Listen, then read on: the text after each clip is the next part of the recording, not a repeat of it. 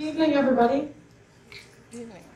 I'd like to start by welcoming you all to this evening's presentation, Life and Death in Kolofata, an American Doctor in Africa. I would also like to thank the Green Mountain Return Peace Corps Association, a global health program at the UVM Larner College of Medicine and Western Connecticut Health Network, and ARD Tetra Tech for sponsoring this evening's presentation. And finally, my gratitude to you all, the audience, for your attendance here tonight to learn more about Dr. Einterz's important work in international development and global health, and for thinking beyond the borders of the Green Mountain State. In John F. Kennedy's inaugural address in 1961, he famously uttered these words that inspired a generation and beyond. He said, And so, my fellow Americans, ask not what your country can do for you, ask what you can do for your country. My fellow citizens of the world, ask not what America will do for you, but what together we can do for the freedom of man. Finally, whether you are citizens of America or citizens of the world, ask of us the same high standards of strength and sacrifice which we ask of you. With a good conscience, our only sure reward, and history, the final judge of our deeds, let us go forth to lead the land we love. In this speech, President Kennedy asked Americans to engage, to be citizens of the world, to create impact, to lead, and to build bridges in America and beyond. This calling is still very timely today. Having grown up in a large religious family dedicated to being of service to others, Dr. Einterz heard this clarion call clearly. In 1974, she left for Niger to teach English as a Peace Corps volunteer. Her time as a volunteer was formative.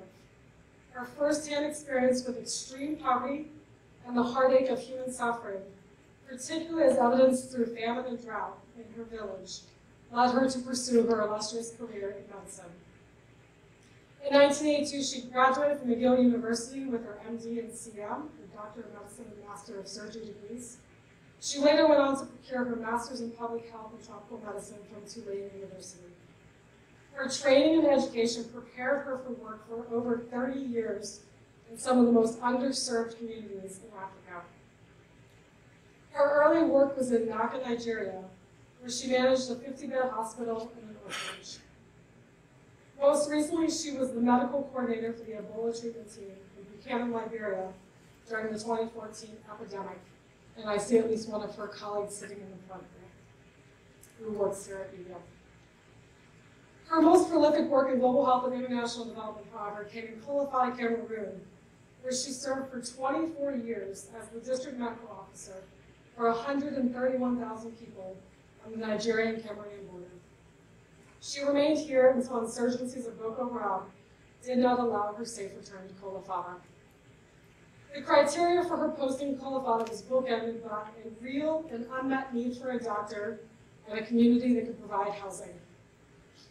She soon discovered that Kolofata was a perfect match. She committed to an initial two-year assignment, and with a one-way ticket and a $250 a month stipend in hand, she set off for the Sahel, 3,000 kilometers and three days travel north from the capital city Yaoundé to build a hospital. In 1990, when she arrived, she found a clinic that was corrupt, a biohazard, abusive, expensive waste pit was providing medically unnecessary treatment. Those are my harsh words, not hers. More eloquently, she describes the 90s era Kolofata as a place where civil servants who had caused trouble elsewhere were posted to Kolofata as a punishment. Schools were generally scorned, languages were multiple, daytime temperatures during the three-month hot season hovered around 115 degrees in the shade. Children were unvaccinated, tropical diseases and the diseases of poverty were abundant. The district had not paved roads, no electricity or running water, no telephone or post office, no hospital, no doctor. She goes on to say in her book, and the namesake of this presentation, Life and Death of Kolofata, an American Doctor in Africa, near as I can tell, most people, particularly the children, live in a state of almost continual ill health, which is more or less accepted as normal. The need for medicines and understanding among the health professionals of how to use them is a key. The government hospitals cannot serve the poor as they are now set up, and the poverty is wrenching.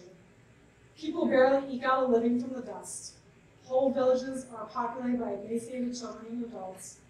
A patient may scrape together enough money for a day or two's worth of treatment, but not a whole week's worth, let alone more. Prescriptions for useless medicines are doled out, and the ignorant sick have no way of knowing which are truly needed for care and which are for fluff. From that dubious starting point, she built a sustainable and economically solvent hospital that has remained operational, even today, in the face of bombardments and attacks from Boko Haram since 2013. Her vision to create a primary health care center where all aspects of the World Health Organization gospel of primary care that could be applied in both preventative and curative cases was resoundingly successful. She ended up creating a 10 hectare, 13 pavilion hospital with 120 beds, where approximately 150 patients were treated daily, 30 of whom had their cataracts surgically removed every day. The hospital now includes a children's ward, an x-ray machine, an ultrasound, ophthalmologists without borders, a surgical unit, a maternity and female medical ward, an isolation ward, and there's also a robust vaccination and wish campaign that the hospital runs. She supervised and trained 120 medical, paramedical, and support staff in six peripheral hospitals and one district hospital. She also conducted six trainings a year for medical personnel. All the while doing that very small task, she also continued to publish over 50 scientific journal articles in The Lancet and others.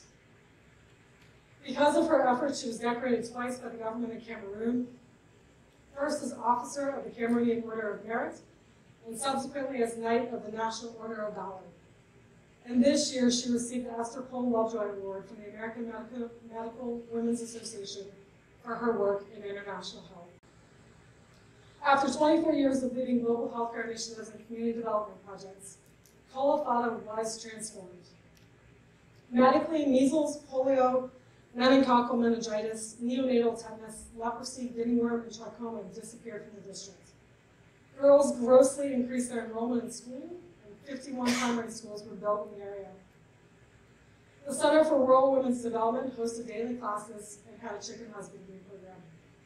Several secondary schools, including one for technical training, were built, and infrastructure improvements occurred throughout the town, including the installation of cell phone towers, bridges, and boreholes for water.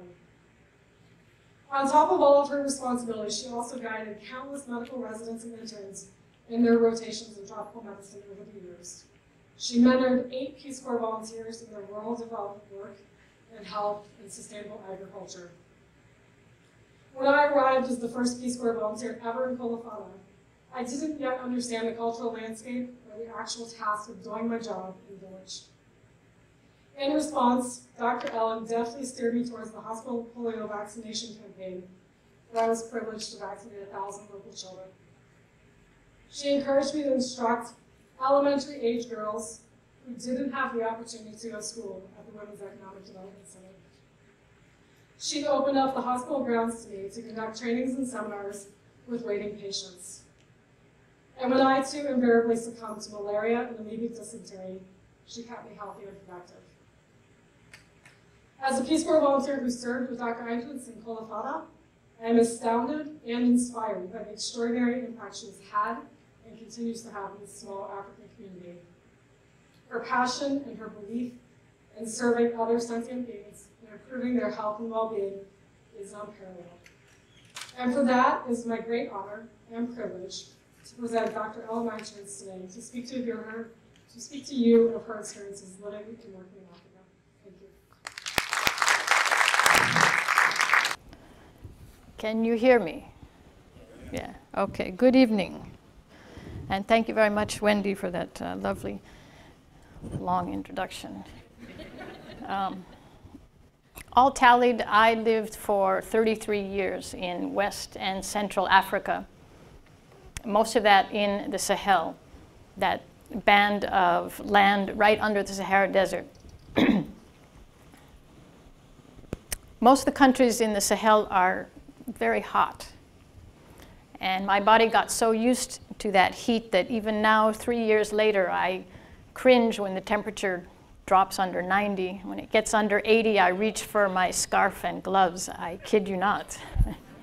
so you can imagine my concern when Wendy asked me to come, and I read that Vermont is the seventh coldest state in the Union.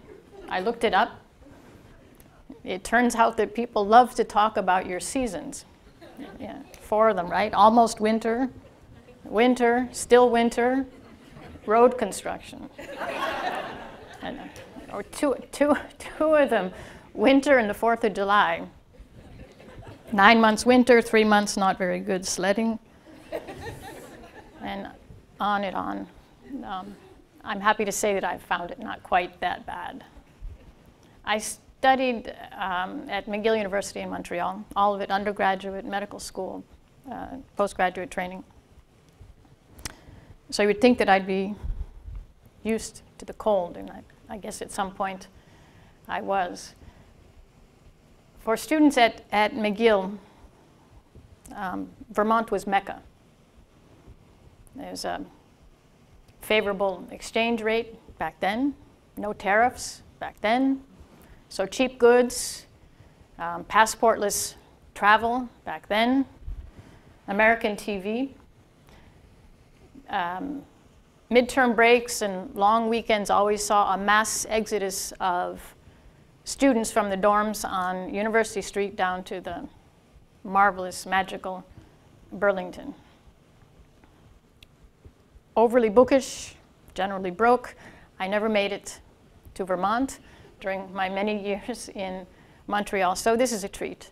And I'm grateful to uh, Wendy Rice, to the University of Vermont Medical Center, to Tetra Tech, to the Return Peace Corps volunteers, and to all of you for this chance to be with you tonight, um, to talk with you about refugees and global health, and to share with you some of my experiences in, um, as a frontline doctor in Africa. Since leaving, I work a lot with refugees now, so that's why I'm going to talk to you about refugees um, as well. But before I do, just a nod to Son Excellence, Her Excellency, Wendy Rice. I hope I'm not embarrassing her too much here when I tell you that for one shining moment, Wendy was the U.S. ambassador to Cameroon. We had just built our Women's Education Center, a sort of school for girls and women who had not had the chance to go to school. And um, for its inauguration, our local town authorities had planned a pomp-filled uh, ceremony. The American ambassador and the Canadian High Commissioner promising to be among the invited guests and participants. The problem was that this was October 2001. And you all know what happened in September of that year. Because of 9 11, and our subsequent invasion of Afghanistan in the days preceding our planned inauguration, um, American ambassadors in many places that October were more or less confined to their embassies. And certainly, if it could be avoided, they were not venturing into the more Muslim parts of their countries as ours was. So, at the last minute, the American ambassador sent her regrets uh, asked PCV Wendy Rice, as the most senior employee of the United States government for miles around, to step up and fill in, and she did. She delivered a spot-on ambassadorial address, had a beautiful blue outfit, I remember it to this day, um, played her part with perfect panache, and made us all proud.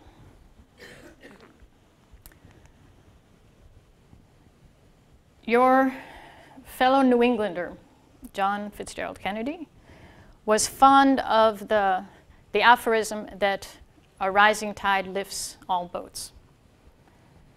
Like many, he believed that when underlying conditions improve, then everyone is raised up.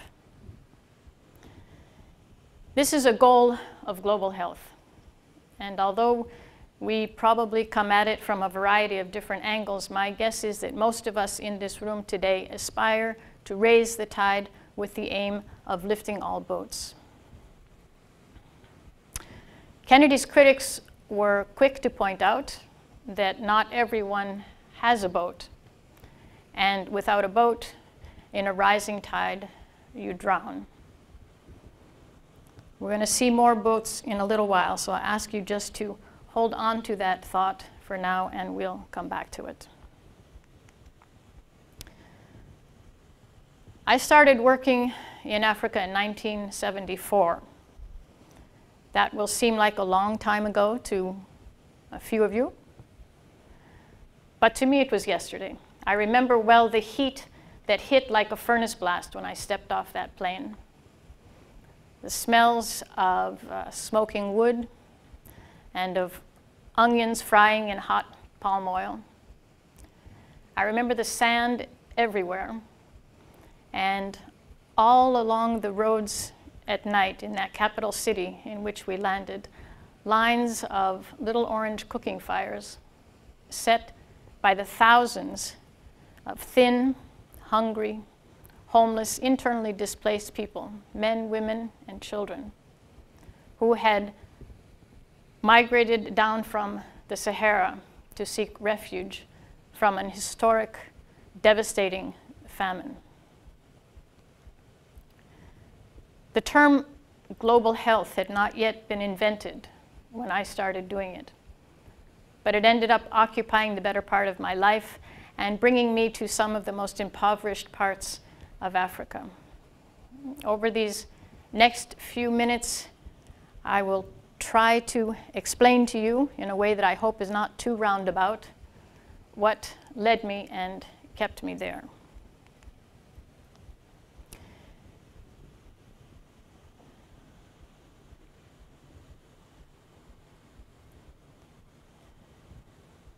In years of grave famine, grave drought leading to grave famine in northern Cameroon during the most difficult months after the millet has run out and before the okra is yet ripe. People resort to eating wild plants and insects, whatever can be foraged. But during the hottest, driest season, when the ground is grassless dust and the more edible six-legged species are burrowed invisibly away, the hungry must find other sources of sustenance. One of these is cattle manure. At such times, people roam the countryside, collecting buckets full of dried dung. They pile the patties onto a fire, let it burn, and then uh, spoon the cinders into a clay pot whose bottom has been punched with holes.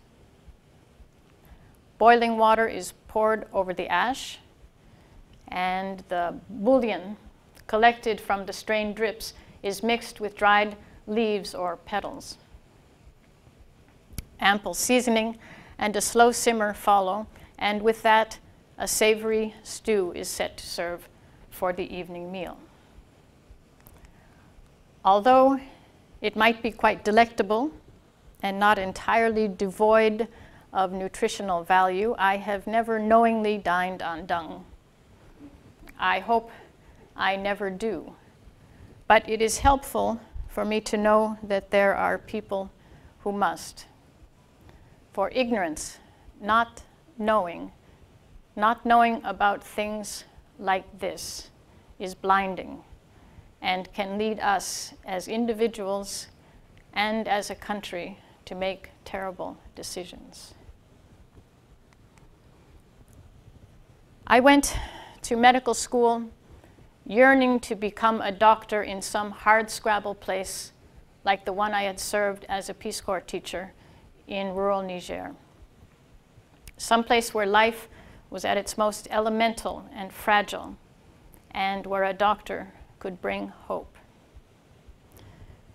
Three insoluble problems, or conundrums, or mysteries made this choice as clear to me as a mountain stream above the tree line. Some friends said to me, but we have our own poor on our own shores. Let's look after them and leave other people elsewhere to look after the rest. The children in distant lands dying of hunger, the parents fleeing persecution, the women trapped by oppression, the teenagers gobbled up by war. We owe them nothing. Let other people take care of them. My first problem, or conundrum, or mystery always was that I could not ever figure out who these other people were who were supposed to be doing the caring, or what made me not one of them. On a hot, breezeless night during my first months in Cameroon, before our hospital was yet up and running, I took a woman into my home. She was in her late 30s, maybe 40. Two days earlier, she had delivered her 18th and 19th children prematurely on the dirt floor of her thatch roof mud brick hut. Both babies had died. In fact, of her 19 children, only one, a nine year old boy, was still alive. The others had passed at different ages a week, nine months, three years. The living boy had sickle cell anemia. And in rural Africa, nine is a ripe old age for a sickler. And already his eyes were yellow where they should have been white, and white where they should have been pink. The woman was tired, exhausted, spent, as if her whole life had flowed from her, all of it right down to these last two tiny premature drops. I think that if that woman were among us today, right here where we could see her, her cheeks tear stained, her hands calloused and cracked, her cloth faded to an indeterminate color, patched and torn. I think there's not a person in this room who would not offer her a word of encouragement, an outstretched hand, a piece of bread. We would not close our doors to her or deny her food, shelter, or medical help for her son. We would not turn away. We would not turn her away. If we saw her, we would not do any of these things. So, my second problem always was realizing that it could not possibly make any difference whether that exhausted woman or any woman like her was here beside me, or was across the room, or across the street, or across the ocean. She was. She was in desperate need of someone to offer help. And not only could I do that, but I could not not do that.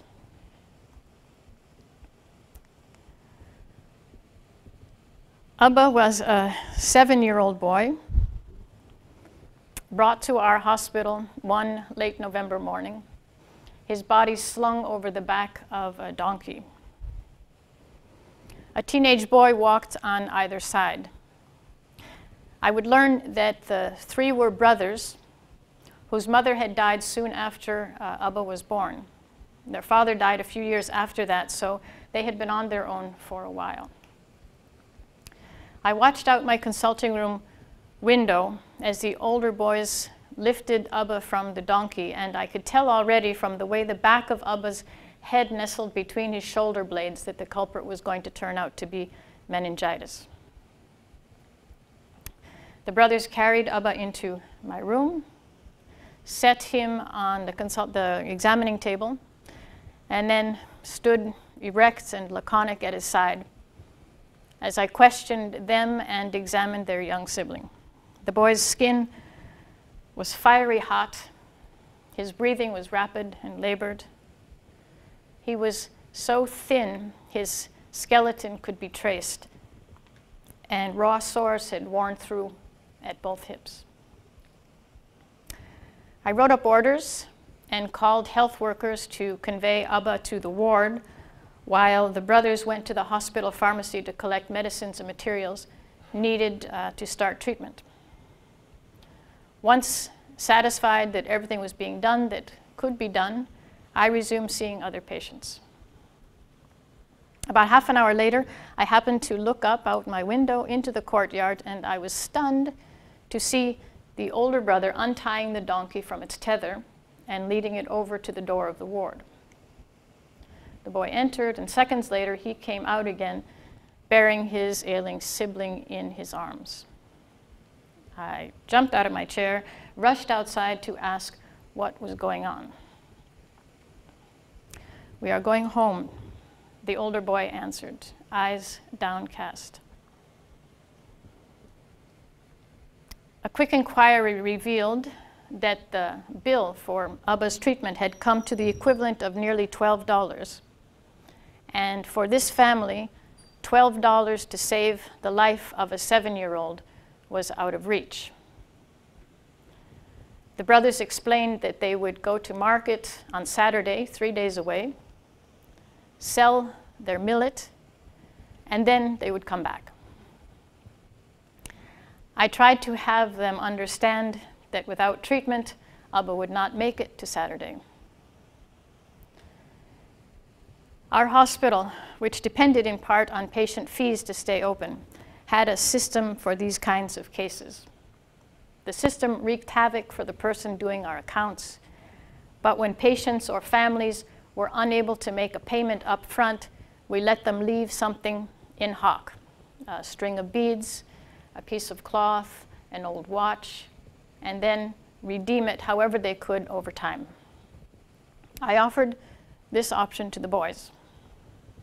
The two older brothers withdrew to talk it over, and I, fearing we were going to end up with a pond donkey, started to calculate whether it would cost us more to feed the animal than it would cost to treat Abba's meningitis.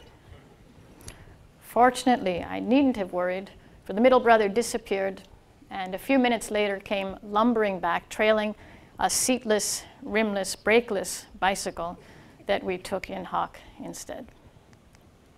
Abba was treated, recovered, and a week later was discharged well. In the scheme of things, his seven year old life had the value of a sack of grain. What kind of world, I asked myself as I watched the threesome and their donkey dwindle down our hill, what kind of world do we live in?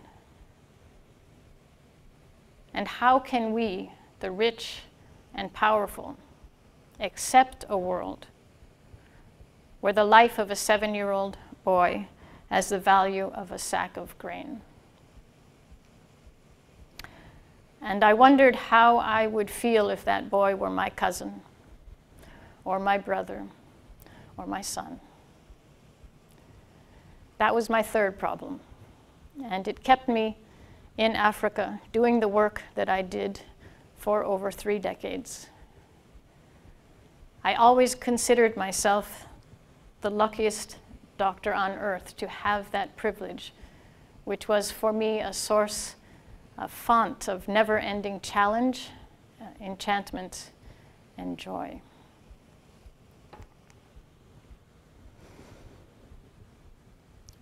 Back in the 70s, one of the tasks the Peace Corps asked us to undertake before we were shipped out was to read the book The Ugly American. I don't know if volunteers still do that, but they should. And I did and the novel impressed me immensely. Published in 1958 and set in a fictionalized Southeast Asian country,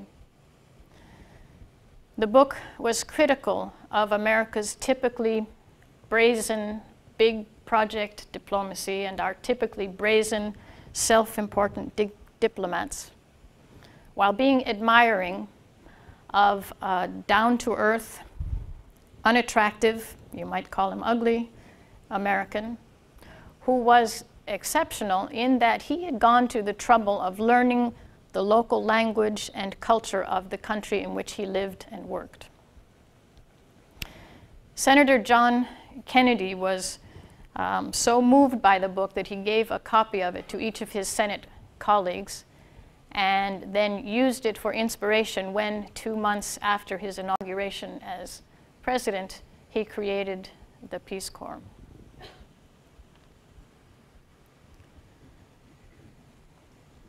By insisting that we get some grasp on the language and culture before stepping foot in our village, Peace Corps reinforced the notion that only by being immersed in a community could we hope to begin to understand it and to contribute meaningfully to it.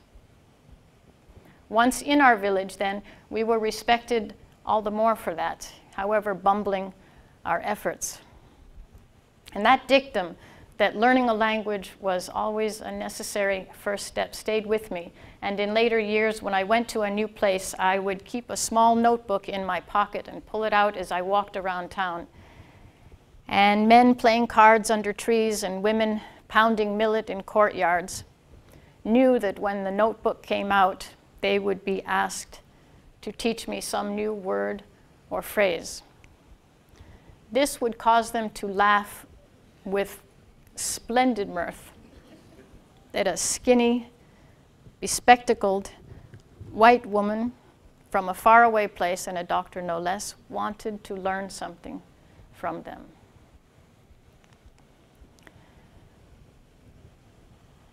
I work now on a team that provides new, newly arrived refugees from war torn countries their first encounter with American health care. Most of the people we serve have lived through horrendous tragedy. In Cameroon, after the arrival of Boko Haram, I saw the plight of refugees from the other end as we cared for victims of bombs and burned villages, for people, families who had fled for their lives with whatever they could carry on their backs and on their heads, and with whichever of their children they could find in the smoldering, terrifying chaos. Witnessing them trek in their weary, bedraggled lines from over the border into our village always left me reflecting on how only the randomness of our respective parents' nationalities had given me from birth a life of luxury. And by luxury, I don't mean monetary wealth, but the luxuries of freedom, peace, opportunity, enough food to eat, and them lives of such deprivation and pain. I had done no more to deserve that luxury than they had done to deserve that pain. By a chance ordering of the universe, a, a, a quirk of citizenship and geography over which none of us had any control. They had drawn the short straw. I, and most of you, had drawn the long and found ourselves surrounded all our lives by pirate chests brimming with glittering treasure. It's really hard to see how our well being or the well being of our world is best served by hoarding that inestimable good fortune. I find in speaking even with highly educated Americans, there is a lot of confusion around the words immigrant, refugee, asylee, asylum seeker. An internally displaced person, first of all, is a person who has been forced to leave his or her home, but has stayed within the confines of the borders of um, their own country. An immigrant is someone who has left their country with the intention of going to another country to live permanently. It is a very broad term, encompasses a bunch of different kinds of people who have come who have been foreign born and are now living in a, another country. But in common everyday parlance, the word immigrant is often taken to mean economic migrant, somebody who decided, who chose to leave their country to come to another one in order to better themselves or to have a better chance for their family at an easier life. A refugee is a very specific kind of immigrant, and the, there's a definition that has been accepted by the United Nations and most countries of the world. It's very particular, and it has to do with someone who has been forced to flee, so there is no voluntary aspect to it. They have been forced to flee if they wanted to stay safe and alive. They had been forced to flee their country because of a well-founded fear of persecution in that country based on these factors, race, religion, nationality, political opinion, and or membership in a particular group. The two main operative words here are flee and persecution. They have to have fled their country. They had no choice in this, and because of persecution. And a government, their own government, either unable or unwilling to protect them. Most refugees go first, they flee first, obviously, to whatever country is right next to them. So a Somali will flee to Kenya, a Congolese will flee to um, Uganda, whatever country is right next to them, and they seek first asylum there. Often in those countries, they are put in a refugee camp. It is while they're in that country that they apply to the United Nations for refugee status, and the, the United Nations is the one that designates this person as in, uh, an internationally recognized refugee or, or not. An asylum seeker is someone who comes, for example, to the United States, not as a refugee, but comes on some other visa, student visa or a work visa or a tourist visa, and while here claims if I go back to my country, I will be persecuted and in danger, unable to be protected by my own country. So they apply then for asylum status if it is granted, they become asylees and in the United States are given almost all the same rights and responsibilities as uh, a refugee. A few unfun facts. There are 68 and a half million people who are displaced from their homes in the world. And of these, 28 and a half are living as refugees, asylees, or asylum seekers. That is outside their own countries. Most refugees are living in low-income countries.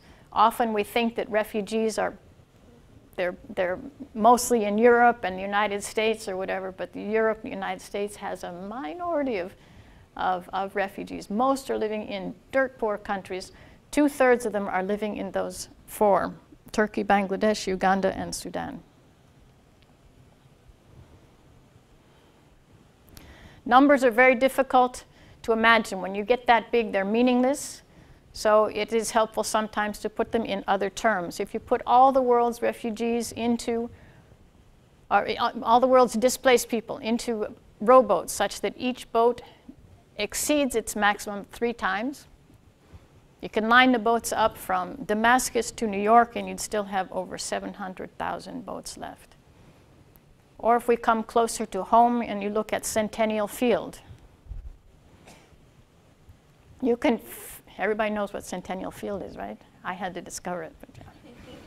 You can fill Centennial Field, every single seat in Centennial Field, every single day, 365 days a, a, year. You put them, you put people in and you take them out. The next day you put more people in, you take them out. More people in, you take them out. You can do that for more than 17 years, 17 years of doing that before you're able to seat all of the world's refugees, not displaced people, but refugees.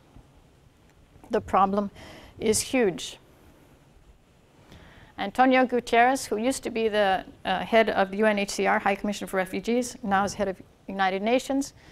While every refugee story is different and their anguish personal, they all share a common thread of uncommon courage. The courage not only to survive and to persevere and rebuild, not only to survive, but to persevere and rebuild their shattered lives. And it's a huge privilege and pleasure to be working with refugees now. I see this every single day. They are incredible people, the refugees who come into this country.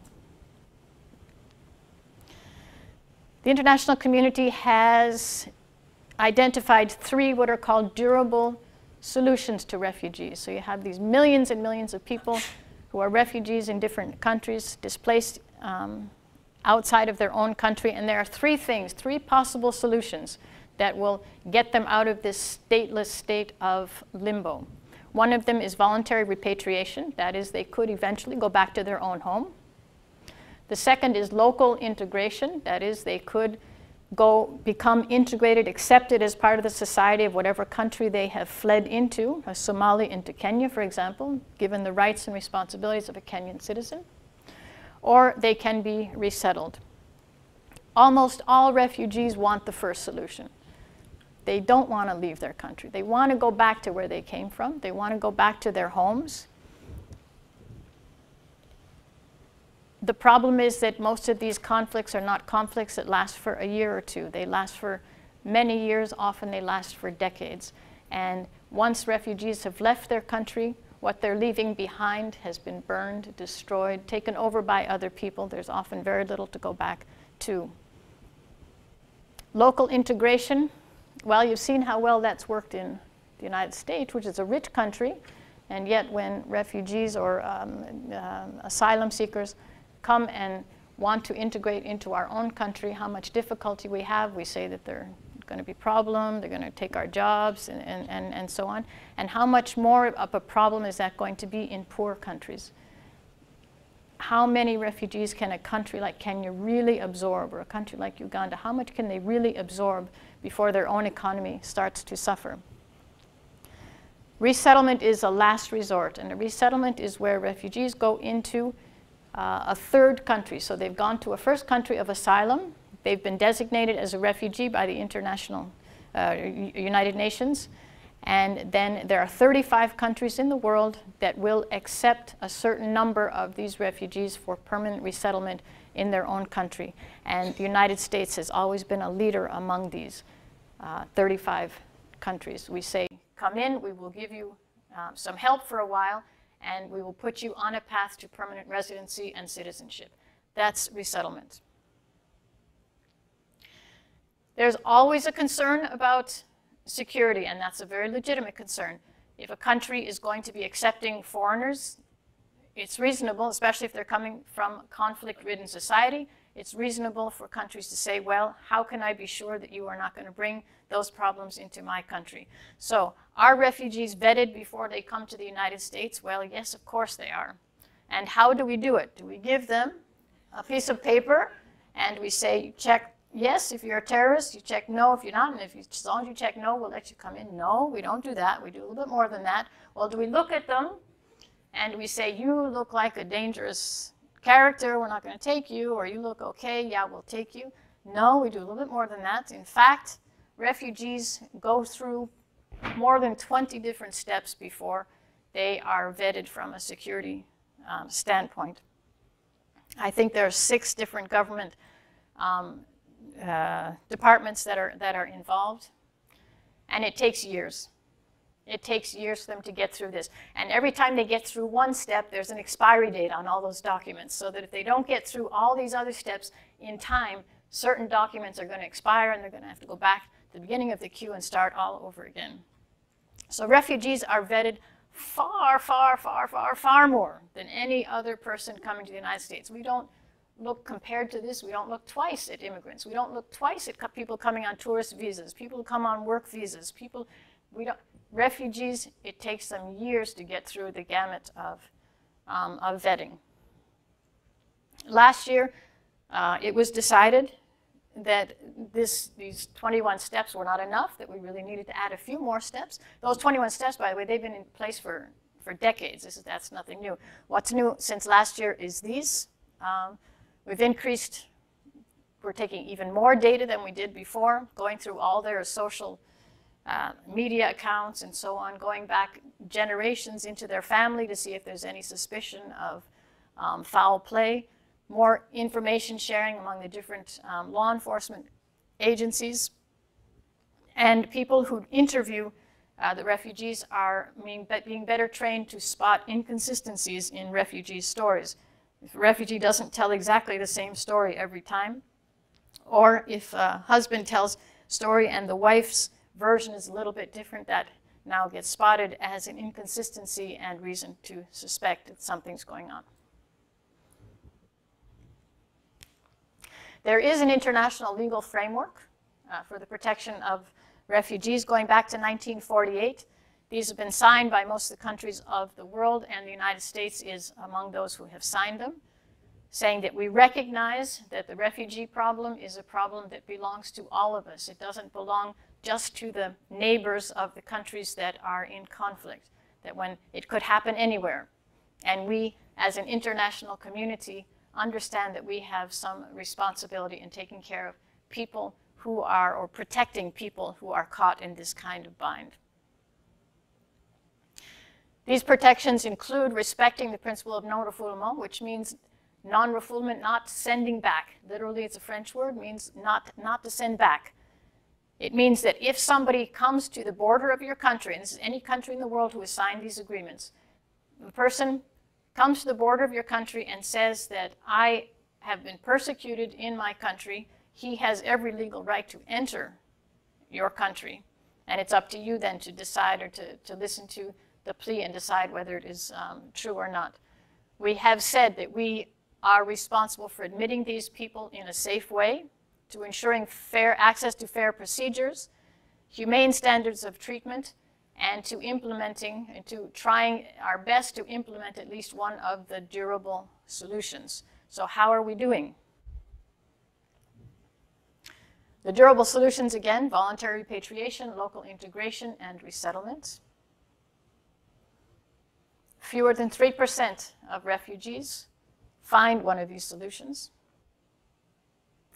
The UNHCR has determined that for the, the calendar year 2019, uh, there are going to be a need for 1.4 million places for refugees needing resettlement. 1.4 million, that's a lot, but it's not a lot when you look at the number of refugees in the world. It's really a very small percentage. So they're saying we need, we have no other solution for these 1.4 million people unless they can be resettled. And the 35 countries in the world who are willing to take refugees for resettlement um, are expected, all 35 of them together, to provide places for 75,000. So how are we doing? Well, sometimes cartoonists speak more eloquently than essayists.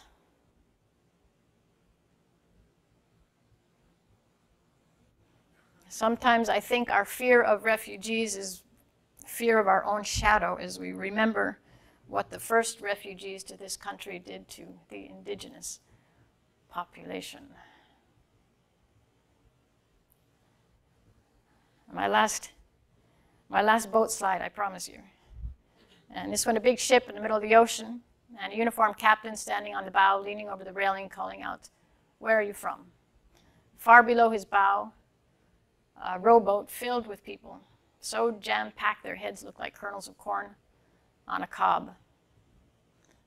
They are clearly migrants, refugees from some situation so dire they were willing to be stuffed into a rickety rowboat and face near certain calamity on the open sea.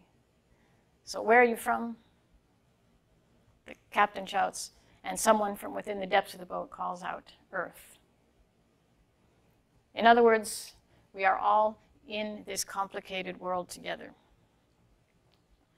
I get asked sometimes, what is the best field of study for someone interested in global health or international development um, in places of great need? And the list of options is endless because the issue is less one of technicity than one of willingness to do it. Business people, lawyers, engineers, environmentalists, doctors, writers, artists, nurses, teachers. Everyone with a passion for making the world a better place has a role to play and a road to take. Peace Corps set up the bridge for me. I walked across it and then I just kept on going, never overly concerned when the course ahead seemed uh, to disappear. Another of your wonderful New Englanders, Emerson, uh, said or advised us not to worry if the way ahead is not always evident. In fact, he said, Do not go where the path may lead, go instead where there is no path and leave a trail. We are all in this complicated world together. As surely as all boats are raised by a rising tide, all will be pulled under if the millions who have no boat go down. Ensuring that everyone has a boat may be beyond us, maybe beyond even the most ardent global health enthusiast. But ensuring that everyone has access to a boat is most definitely not. Global health is everything that goes into ensuring access to health for all. We may do it in some far off part of the globe, or we may do it in that part of the globe we call our own backyard. But whenever we make life better for someone else, we help make life better for all. Thank you very much.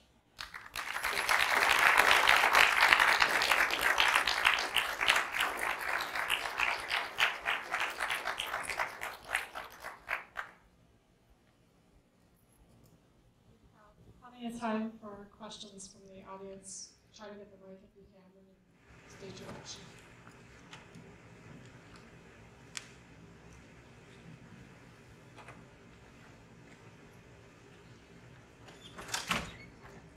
you had any interaction with the World Columbia AIDS Commission? Um, it depends on what you mean by interaction. I've spoken there. Um, uh, I've been involved in programs that they have funded. They, they usually fund huge programs, so I just am a part of it. But um, yeah. Yes. What was the most shocking thing that you saw? What was the most shocking thing that I saw? Really experiencing?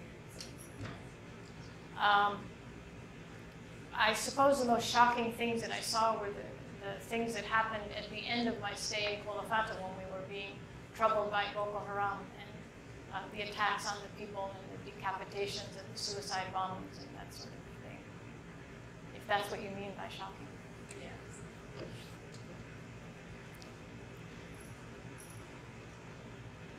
On a social level, the most shocking thing, I guess, was the corruption, all pervasiveness of the corruption, which maybe shocking isn't the word because you're so used to it, it's very tiresome. The, um, the never endingness of it. I was just wondering if you could tell them about um, the Peace service in Niger and then gone back to Niger since the seventies and how how you feel things are now compared to when you guys were here. I haven't gone back to Niger since, uh, since I left. Um, so I can't really speak to that. I only know what I read. And um, obviously Niger is still, still suffering greatly. It, it has gone through periods when it looked like it was going to uh, make some great improvements.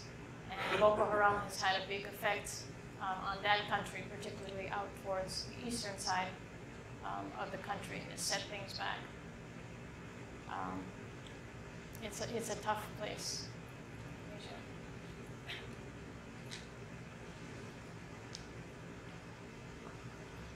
Thank you so much. Uh, I'm Jules Michi. I'm from the Democratic Republic of Congo. From Democratic Republic of Congo. Democratic Republic of Congo. Yeah. Yes. So uh, I'd like just to thank you because in this is a good job. Uh, I remember when I was general physician, because back home when we are, you are done with medical, medical school, they send you a like physician in the village. So you need to learn, you need to practice a lot. I'm sorry, English is my favorite language, so I accept So I remember when I was in the, in the village, so I practiced a lot, I learned a lot. I worked very hard. I think one day when I went to the hospital, after do like three uh, surgeries, uh, occlusion cessation when I was a physician. And when I, I, I went back home, I opened my bedroom, I found one big snake. So imagine what happened. So I know it's very, very important to help uh, a physician to understand how the world. Because uh, when a student they finish class here, they have a lot of materials. So they can practice easily. But back home, very, very, very difficult. And it was hard for some physicians to continue to practice in the country. So they move in South Africa, Botswana. So when went there, we found a lot of uh, physicians from Congo that practice very, very good. So I'd like just to thank you. It's very, very important. So everyone needs to make something to change the world. So here I am student in Kharkiv. I think my goal is if I'm done with the program, if uh, I have the opportunity, I can sometimes use equipment, to bring back home. Because sometimes it happens when you are doing the surgery, you have only one glove. So imagine what happened. It was not very to continue to help people. But I, I moved here because I want the Rotary. I, I'm a refugee. So um, it's very, very important. Okay, Thank you, thank you.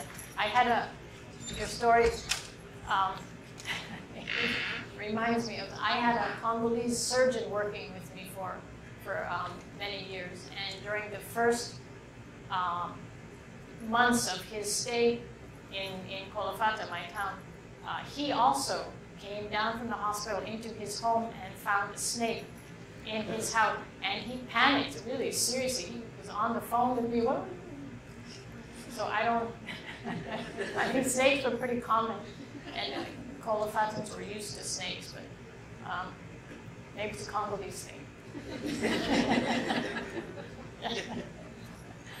Oh.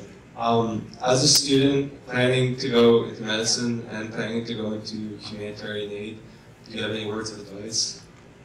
Do it. what else can I say? Do it, really. And once it gets in your blood, it doesn't get out, which is a good thing. Yeah. Good evening. Um, I want to start off by saying my name is Asia Gallo. So there are some students here who are interested in Peace Corps. I'm an on-campus Peace Corps volunteer. I mean, Peace Corps recruiter. Peace. Um, and I would love to speak with you if you want to talk about how you need to join the Commonwealth High um, your experience. I was also a health volunteer in Mozambique. And just got back to my son was in July and then started in this position here and in my school academy here at Beacon.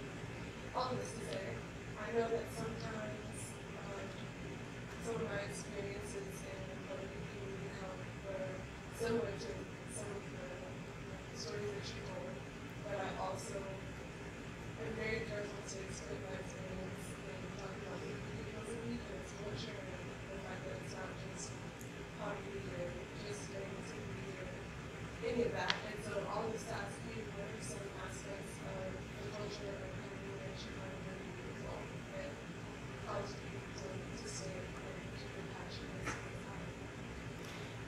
I, I am much more attracted to people than I am to animals or land. So Cameroon is a beautiful place, um, and we do have game reserves and that sort of thing. But it's the people that I just they they fascinate me endlessly.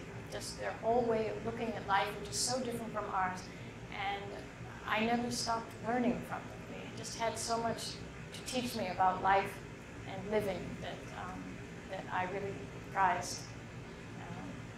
And they love to laugh, and, and um, it's just nice being with them, even when they're suffering. They, they, they have a sense of humor and a sense, uh, they're so down to earth and um, realistic and accepting, and they don't complain, and they, they don't expect a lot, and they just want to get on with life. They want to take care of their families, and um, it's just it's very refreshing. That's that's what I love most and miss most.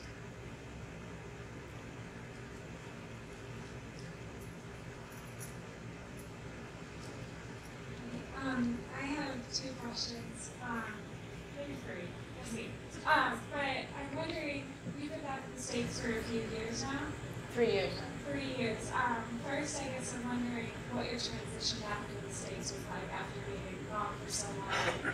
Um, second, I'm wondering if you still are involved with your work abroad, um, and you still go back and. Um, and uh, Um, I'm still very much involved in Kolofata. I'm in touch with them every week anyway. Still um, have people supporting their the hospital. The hospital, in spite of being overrun um, by this conflict, the hospital has kind of been a steady presence through it all.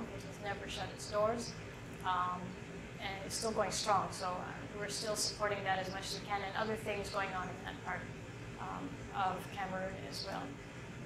Um, transition, you know, to this day, I still literally get a thrill when I flip a switch and the light comes on.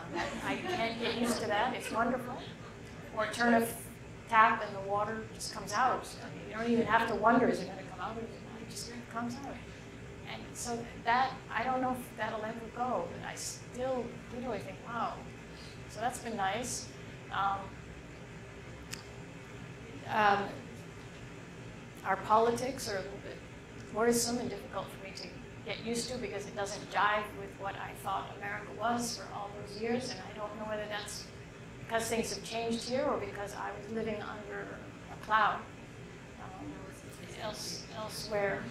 Um, so that's been a little bit hard for me to get used to, to kind of mesh that with what I always thought we were. Yeah. Are you trying to involve involved with refugee resettlement in America? So that's what I, I, I work with refugees, not, I work with re- resettlement agencies, but I'm not employed by them. I work with a um, local health department, so we are the ones who take care of the refugees from a health point of view for the first, um, first few months of, of their arrival. Are you doing this nationally or are you doing it locally? With refugees, Yes. locally, in my own community, Marion County, Indianapolis, Indiana. And you have not only this passion and this heart, it's contagious, but the way with words, your, your poet as well. And the way you put this together is, is so moving and so inspiring. Thank you, thank you. That's very nice. I wish I was a poet.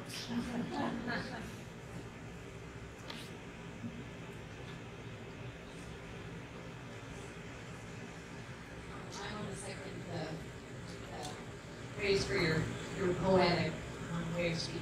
It's just beautiful to hear.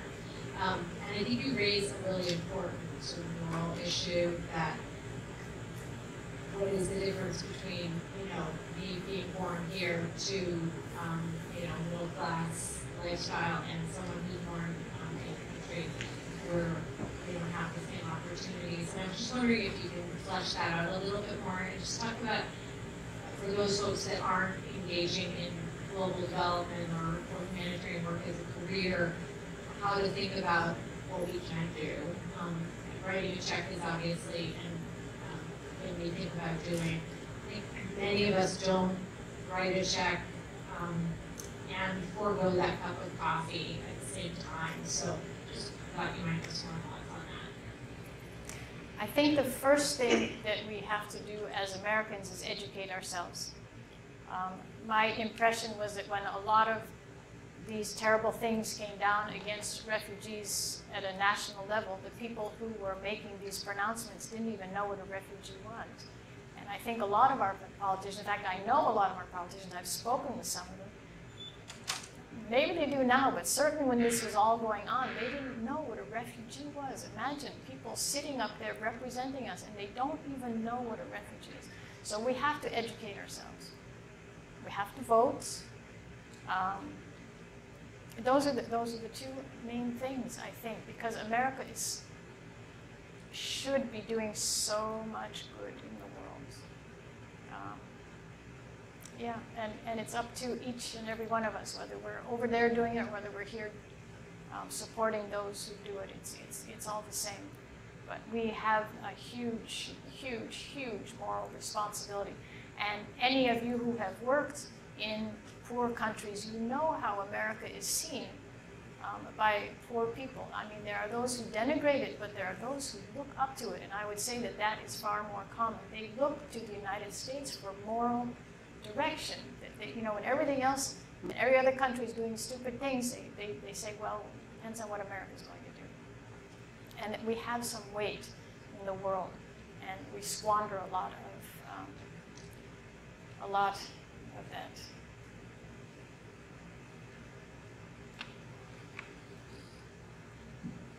Hi, thank you for being here. I just wanted to also sort of piggyback what, what you were saying about Peace Corps.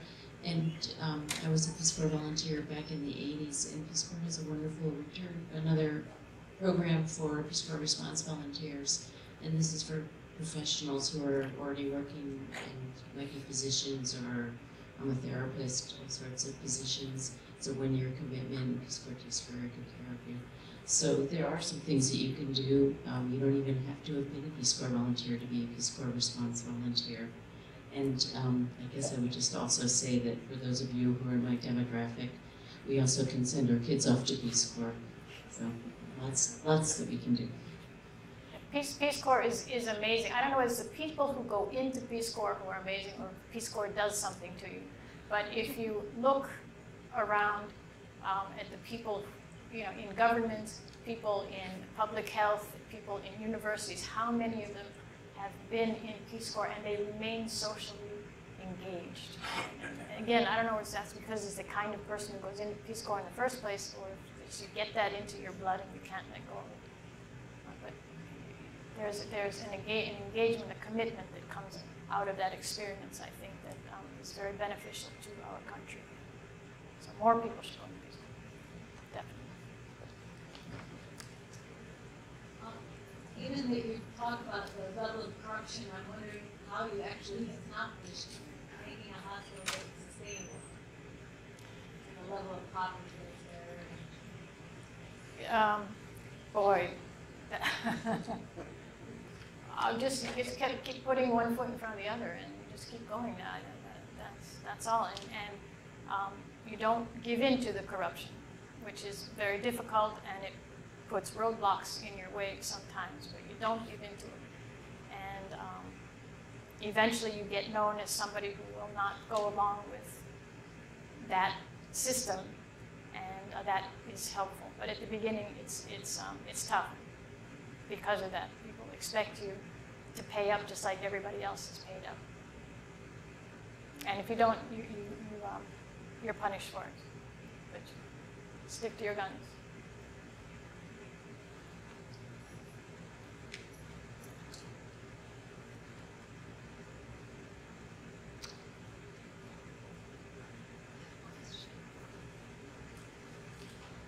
I think Serena's playing.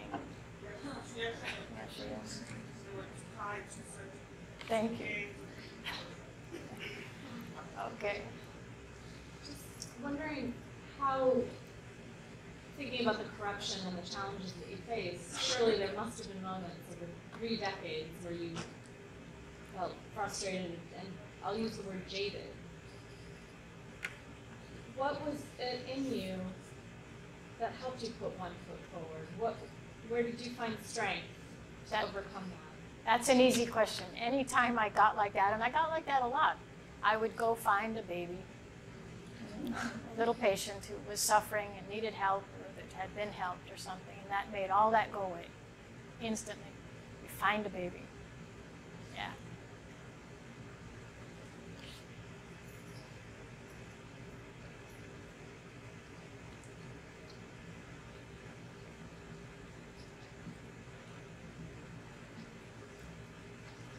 Good evening, everyone. I just wanted to say thank you to uh, Ellen and um, just listening to you, um, working with you three years ago now. Um, I didn't know a lot of this, but um, just listening to you talk the last hour really gave me hope for our world. I mean, I, I, I really hope and there are going to be a lot of people here and uh, um, like uh, you said, your kids you can send out in, into Peace Corps, and I, I it really this really lifted my heart that you could take out of your time from where you came from to go to Kolofata. Like I told you earlier, I said there, I'm jealous. I could have some places in Liberia I would loved for you to be, but in Kolofata, I mean, you're there for 30 years doing this kind of work, and that's just lifts my heart, and I think it gives me hope for the, for um, our world. And I want to thank you.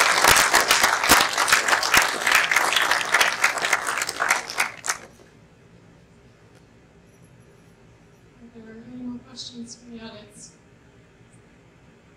I know she's terribly bad at self-promotion, so I'm going to put a plug in for. Um, she released a book of her experiences in Cameroon. Um, really heartfelt and heart-wrenching stories of all the medical care that she provided, as well as her experiences with Boko Haram and in a kidnapping target and being under gendarme guard for over 15 months experiencing the havoc in the village. So the name of the book is Life and Death in Kolofata, an American Doctor in Africa. It's a, it's a really good read. I'm a little biased, but I encourage you to buy the book. Thank you so much.